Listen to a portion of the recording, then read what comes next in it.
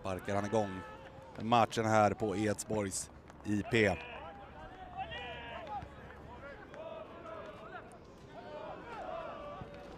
Direkt får läge möjligtvis Ekholm får tag i den där bollen. Efter lite om och men. Här har Ramadani. Skickar in den och det är Engström som inte får riktigt bra kontakt med den bollen i straffområdet.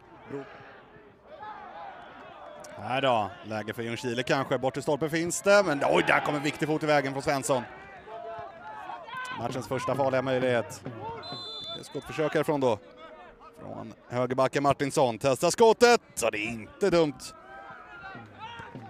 Kortare variant, går till Martinsson som lyfter in från den här vinkeln istället. Ekholm får parera den undan. Gratis med det för Lindberg att ta emot och ta sig förbi. Sätter ner den här och läget möjligtvis så passar man och skottet i målet 1-0 för Ljungskile.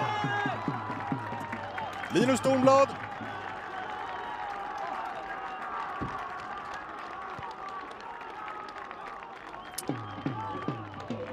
Och det är ett fint spel och osjälviskt spel som ger hemmalaget ledningen.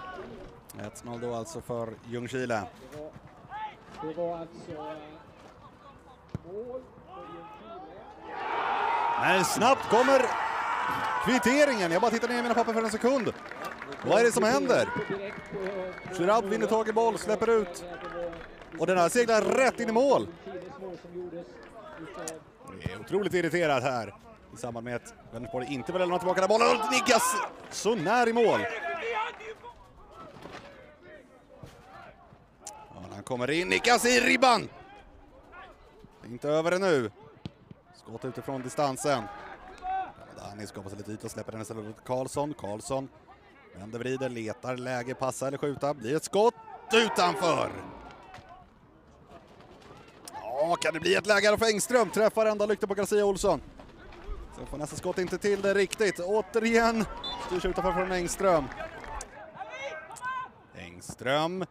Ja, så är räddning, returen i mål! Och den står sig, det är inte offside. Det är Marvin Leidevall som slår in returen i öppen kasse.